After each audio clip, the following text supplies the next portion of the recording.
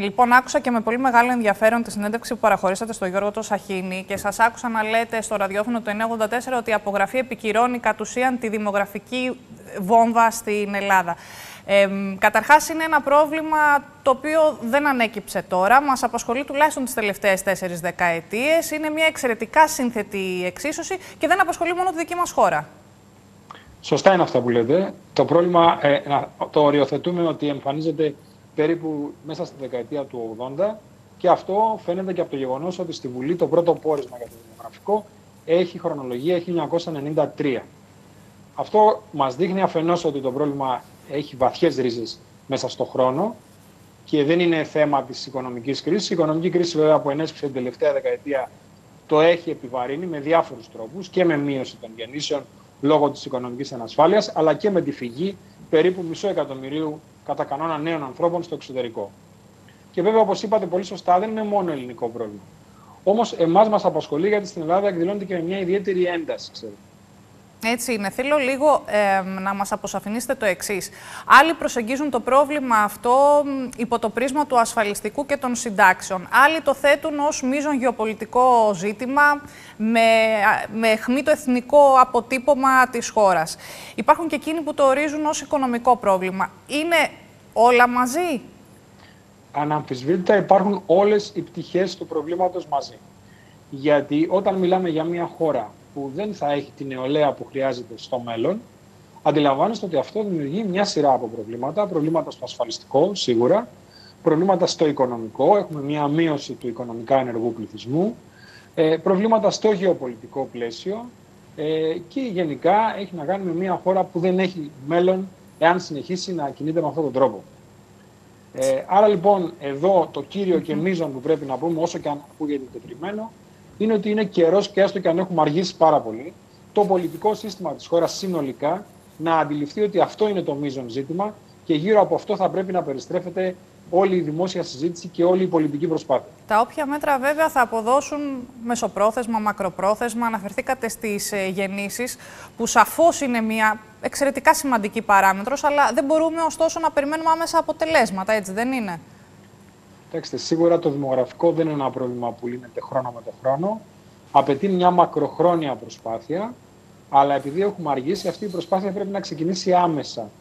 Δηλαδή, για να το κάνουμε συγκεκριμένο, θα πρέπει όλα τα κόμματα, όσο και αν ακούγεται λίγο ουτοπικό αυτό, θα πρέπει να κάτσουν σε ένα τραπέζι, να εκπονήσουν μια εθνική δημογραφική πολιτική, την οποία θα αποφασίσουν να εφαρμόσουν, να αλλάξει όταν θα εναλλάσσονται και στην εξουσία.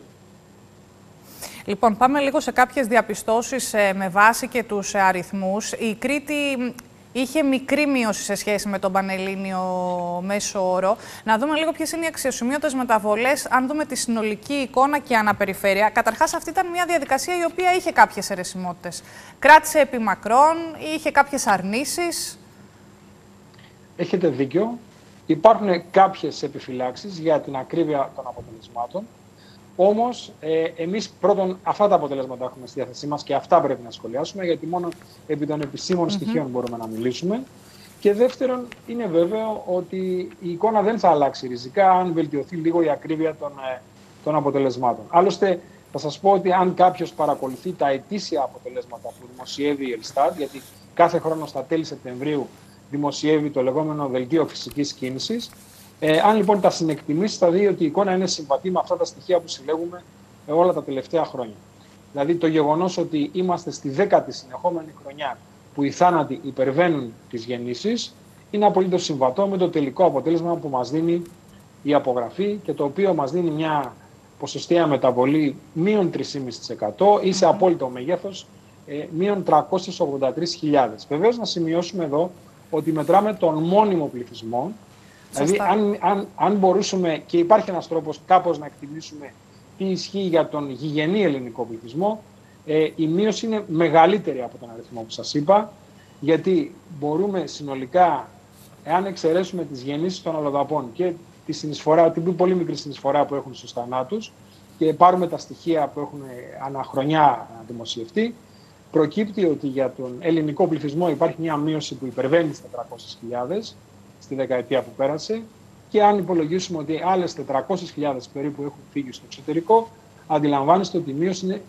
η, μείωση είναι σημαντικά Ε, τα πράγματα μεταβάλλονται βεβαίως στο τελικό αποτέλεσμα λόγω της ε, έλευσης σημαντικών αριθμών αλλοδαπών πλέον στη χώρα.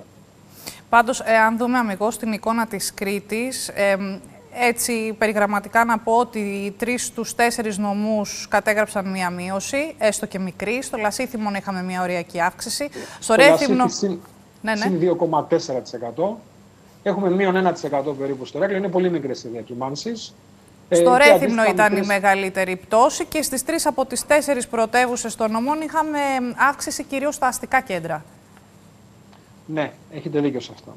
Πάντως η, η εικόνα που παρουσιάζει η Κρήτη είναι διαφοροποιημένη σε σχέση με την υπόλοιπη Ελλάδα, δηλαδή δείχνει μια εικόνα δημογραφικής σταθερότητας, ε, την οποία όμως δεν την βλέπουμε σε καμία περίπτωση στον υπηρετικό κορμό. Δηλαδή, ε, δεν θα ήταν υπερβολή να πούμε, δυστυχώς, ότι στον υπηρετικό κορμό έχουμε μια δημογραφική κατάρρευση, ειδικά των πληθυσμών της υπαίθρου.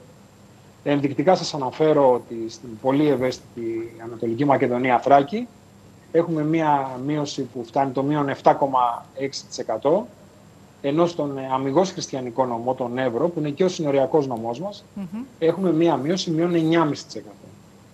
Οι μειώσεις αυτές είναι πάρα πολύ μεγάλες σε επίπεδο μιας δεκαετίας και με το σκεπτικό βεβαίως ότι αν συνεχιστεί η υπογεννητικότητα θα συνεχίσει αυτή η τάση και στα επόμενα χρόνια.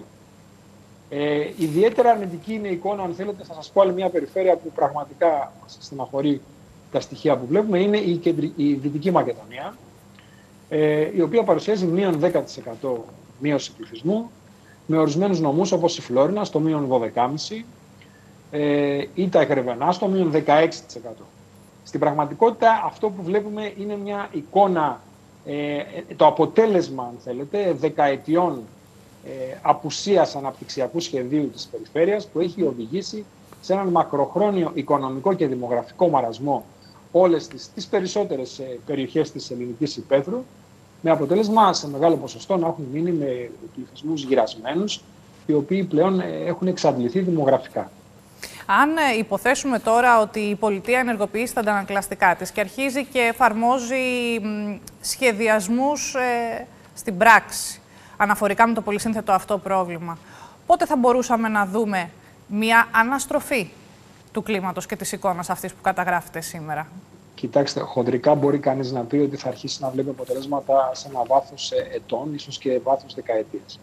Αυτό όμως δεν σημαίνει ότι δεν πρέπει να ξεκινήσει σήμερα.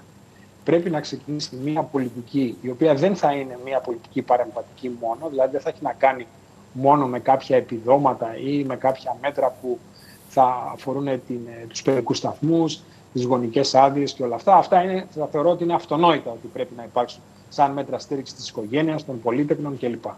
Από εκεί και πέρα όμως πρέπει να καταλάβουμε ότι το δημογραφικό είναι ένα πρόβλημα βαθύ, κοινωνικό, αφορά την κοινωνία σε μεγάλο βαθμό. Ε, έχει να κάνει με την οικονομία, με το αξιακό πλαίσιο της κοινωνίας αν θέλετε. Ε, και εδώ χρειάζεται λοιπόν μια συνολική παρέμβαση. Έχει να κάνει δηλαδή και με ένα έλλειμμα, όπως είπα και πριν, ε, του αναπτυξιακού σχεδιασμού για την περιφέρεια της χώρας, ένα έλλειμμα πολιτικής δεκαετιών θα έλεγα. Και το Άρα πρέπει να αυξήσουμε και τη δεξαμενή των οικονομικά ενεργών πολιτών, έτσι, αλλά αυτό είναι, με τα αυτό ποσοστά... είναι ένα αποτέλεσμα που πρέπει να το επιδιώξουμε. Έτσι. Αλλά έχουμε πολύ χαμηλά ποσοστά σε επίπεδο χώρας και σε ό,τι αφορά την γυναικεία απασχόληση, αλλά και την απασχόληση των νέων. Είμαστε, νομίζω, τελευταίοι στην Ευρώπη, αν δεν κάνω λάθος. Ναι, αυτό είναι ένα στοιχείο θετικό με την έννοια ότι είναι αξιοποιήσιμο. Δηλαδή, θα μπορούσαμε να αυξήσουμε τον οικονομικά ενεργό πληθυσμό, όπως λέτε, ε, αν κινητοποιήσουμε περισσότερο τις γυναίκες. Η, η απασχόληση των γυναικών στην Ελλάδα κατά μέσον όρο είναι μικρότερη από άλλες χώρες. Mm. Όμως αυτό είναι μία παράμετρος, ξέρετε. Αλλά φοβάμαι ότι το πολιτικό σύστημα δεν αντιλαμβάνεται το μέγεθος του προβλήματος. Μίλησα προηγουμένως για την ε, Δυτική Μακεδονία, η οποία ως κύρια οικονομική δραστηριότητα έχει την παραγωγή ενέργειας στα λιγνητικά εργοστάσια. Mm. Πρόσφατα λοιπόν είδαμε ότι το, η κυβέρνηση, η, η παρούσα, εν πάση περιπτώσει, χωρίς μεγάλες αντιδράσεις και από τη μεριά της αντιπολίτευσης, έσπευσε να, να πάυσει τη λιγνητική παραγωγή εν ονόματι της λεγόμενης πράσινης ανάπτυξης, χωρίς όμως να υπάρχει ένα εναλλακτικό σχέδιο για το πώς θα βρουν απασχόληση αυτή η άνθρωποι. Βλέπετε λοιπόν ότι ο τρόπος με τον οποίο λειτουργεί πολύ συχνά το πολιτικό προσωπικό της χώρας δείχνει σαν να μην έχει κατανοήσει το πρόβλημα, αφού ποτέ δεν το θέτει ως πρώτη προτεραιότητα των πολιτικών επιλογών του.